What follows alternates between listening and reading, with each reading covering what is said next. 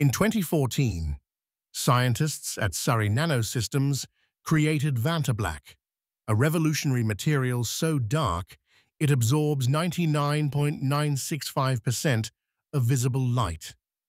The material consists of millions of carbon nanotubes grown vertically, each tube about 3,500 times thinner than a human hair.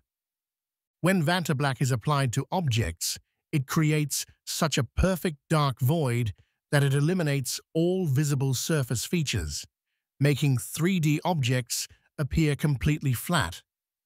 The manufacturing process requires temperatures of 430 degrees Celsius and precisely controlled conditions to grow the nanotube arrays.